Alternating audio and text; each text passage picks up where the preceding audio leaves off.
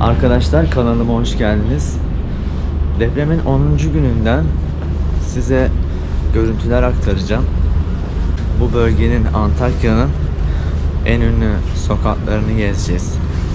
Bazı depremden hasar gören yerleri, camileri vesaireleri oraları inceleyeceğiz.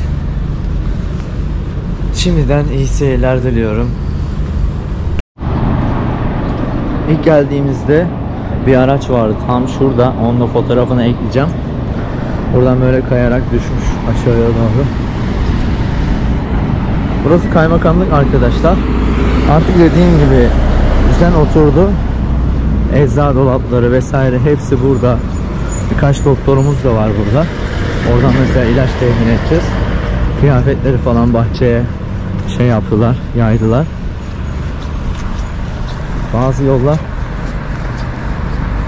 şekilde resmen ikiye bölünmüş.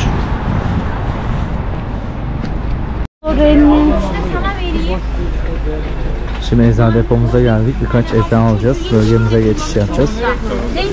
Bazı eee, bölgelerde bu tarz böyle şeyler oluşturulmuş.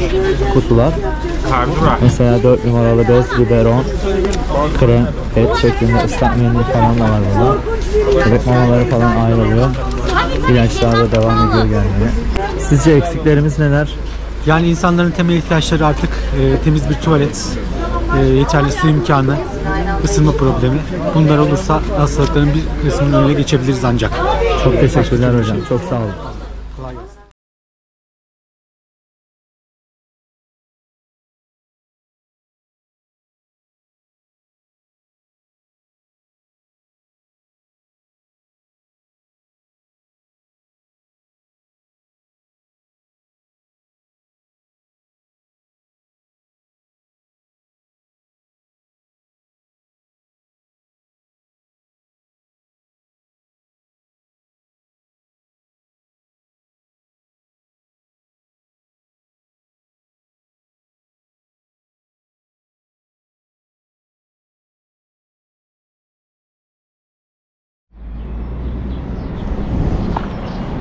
Kötü bir sokak var arkadaşlar. Yani şu bölüm ve şu bölümler bayağı kötü. Bu devam ettiğimiz sokakta iyi sağlık var.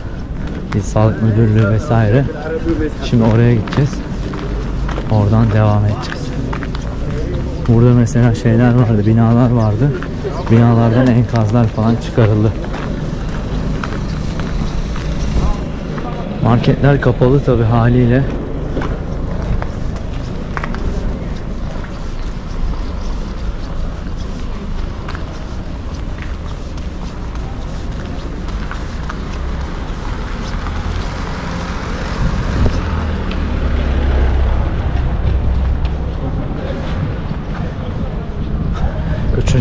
Buradan da bir enkaz çıkarılmıştı.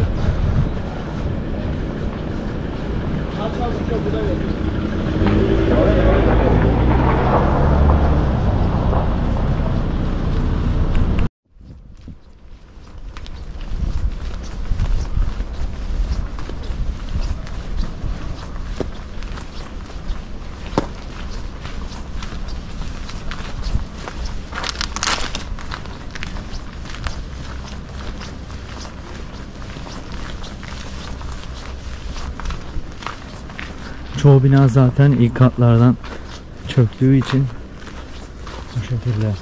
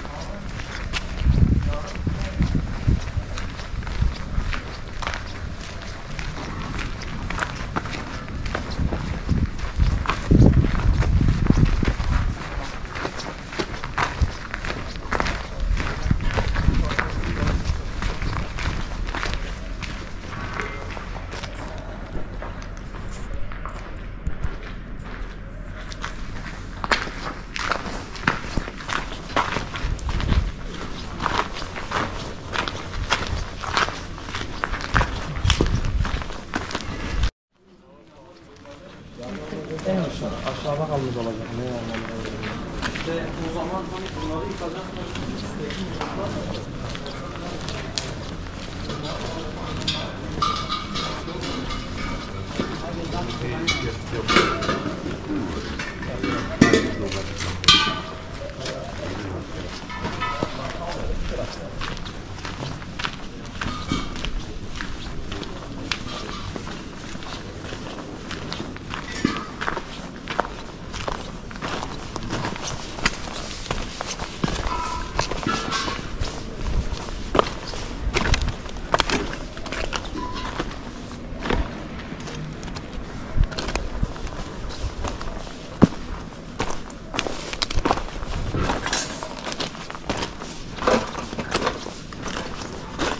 Bu bölge tabii ki de depremde değil de enkaz çalışmaları sonrasında şu bölümü boşaltmak için buraya yığılan molozlar sebebiyle meydana geldi.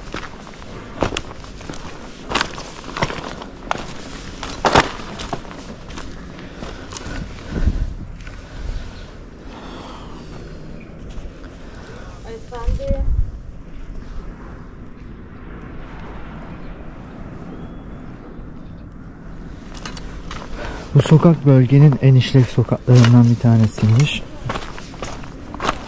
Arkadaşım öyle anlattı. O da birazdan bilgi verecek bize.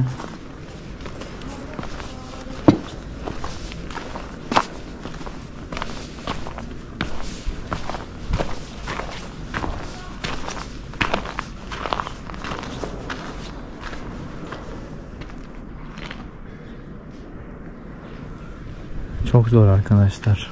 Maalesef çok zor. Kuşlar burada susamlar vardı. Onlarla besleniyor? Buğdaylarla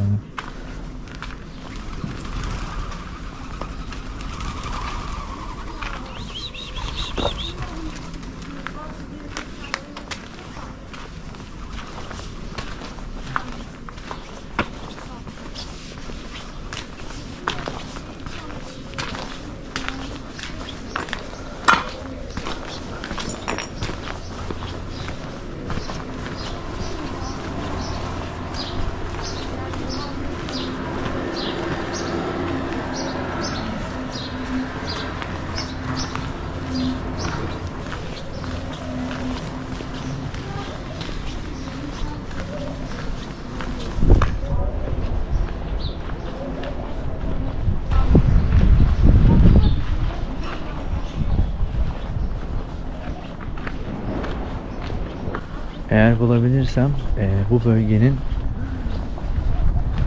deprem öncesi görüntülerine de ulaşacağım.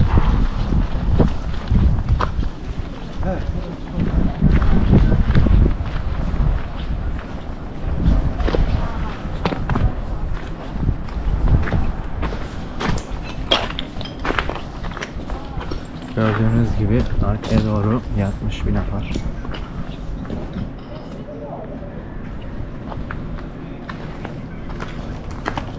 Bu bina mesela ilk katından çökmüş. Diğerleri gibi. Yan tarafa yaslanmış şekilde.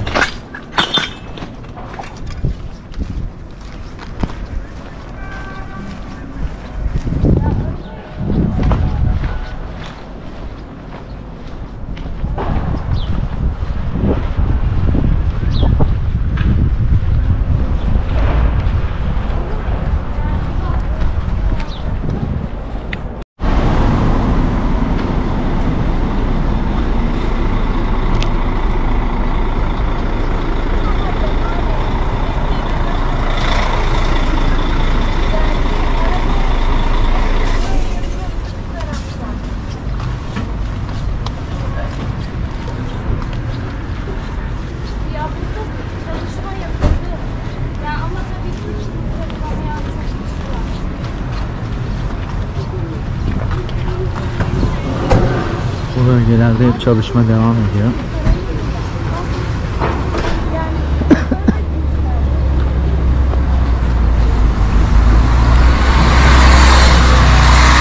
Vay işte Büyükşehir Belediyesi'nin araçları gelmiş.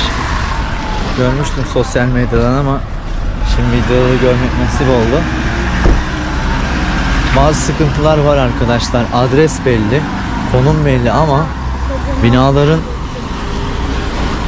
çok kötü bir şekilde yıkıldığı haberi geldiğinden müdahale edilemiyor bazı yerlere veya yetişilemiyor yani. Öyle bir sıkıntımız da var.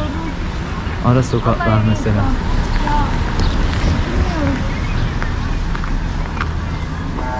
Yani bölge bölge kötü kokular da gelmiyor değil. Bazı insanların kimi kimsesi olmayabilir. Bu tarz sıkıntılar da var tabii.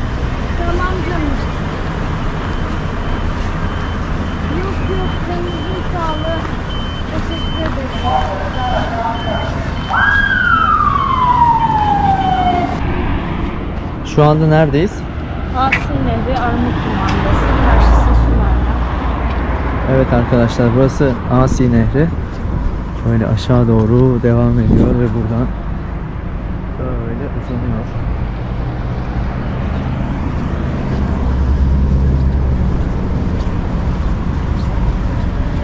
Az önce konuştuğumuz abla şunu söyledi. Yani artık çoğu insanlar çadırlara yerleşmeye başladı ve çadır kentler de kuruluyor. Yani böyle devam ederse dışarıda insan kalmayacak gibi gözüküyor. İnşallah hepsi yani evlerini bırakmak istemeyenler de var. Bazı tek katlı evleri bırakamayıp orada yaşayanlar da var. Onlar da oraya giderseler güvenli olacaklar. Burada arkadaşlar mükemmel bir yere rastladık. Böyle bir ekranımız var. Bu ekranda çizgi film dönüyor ve çocuklar harika görüntüler ya. Yani buraya geldi şurada bebeğimiz var hem mama yiyor. Gözünü alamıyor oradan. Gözünü alamıyor. Afiyet olsun. Bak bay bay ya. Yap bay bay. Yap bay bay. Bay bay. Yap bay bay. Bay bay.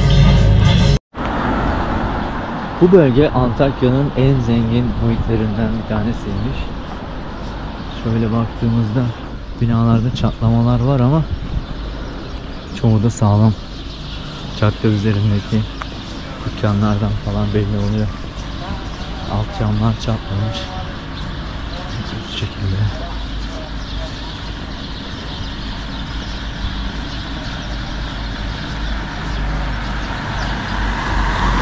Binada göründüğü gibi berbat bir halde.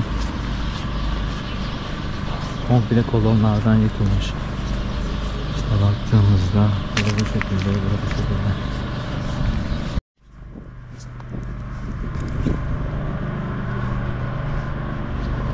Birazdan yanına gittiğimiz bina eski valilik binasıymış. Hatay'ın.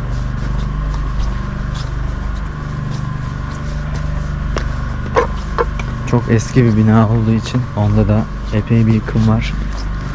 Gördüğünüz gibi şu şekilde.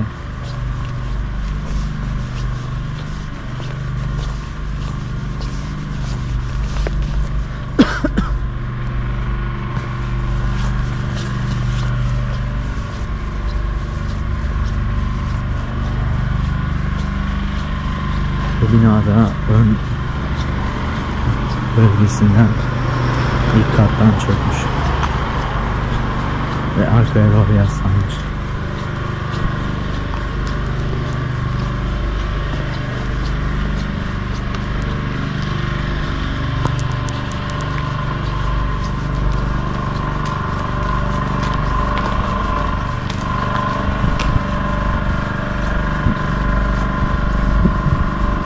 Şimdi eski mahallik binasının önüne doğru ilerliyoruz.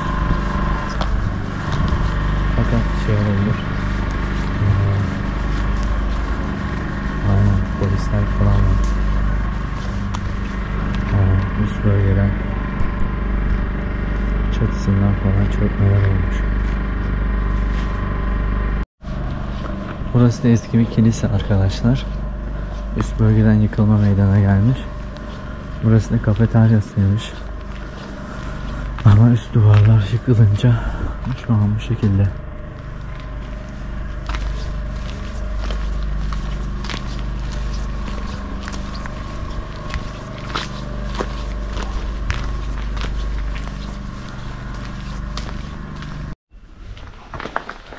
Burası Antakya'nın en meşhur sokaklarından bir tanesi.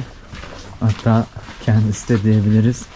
Bu sağlı sollu otellerin ve kafelerin olduğu bölüm. Bu şekilde.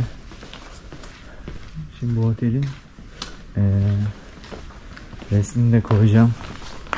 After yaparız. Bu şekilde.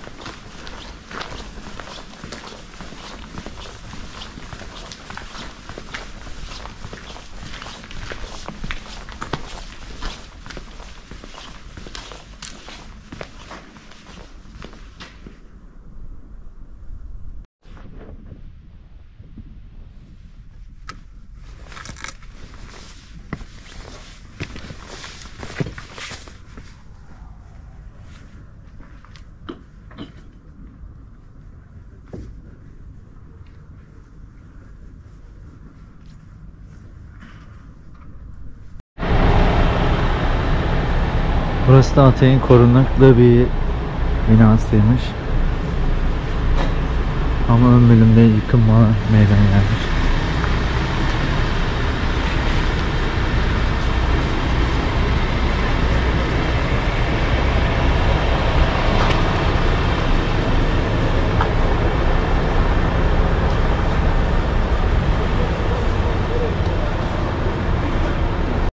Burası neresiydi? Habib Neccar. Neccar Camii. Üst bölümde yıkılmalar ve çökmeler meydana gelmiş. Baktığımız zaman bakalım ön tarafta durumlar nasıl. Şöyle arkadan bir geçelim. Devam edelim.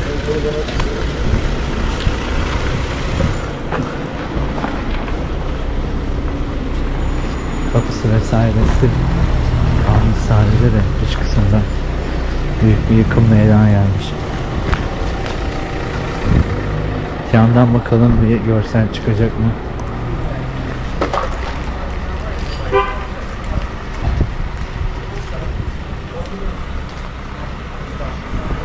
Bu şekilde üstten çökmüş.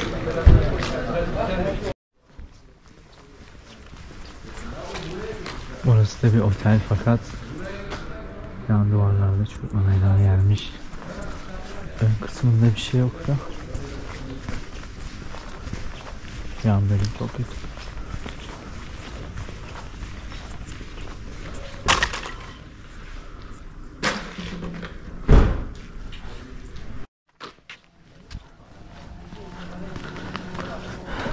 Burada da eski bina ön bölüme doğru yıkılmış. Bu şekilde.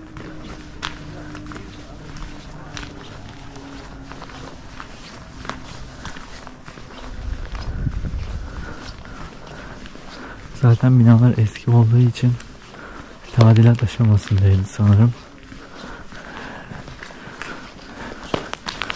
Ama depremin etkisiyle çok kötü bir hale gelmiş.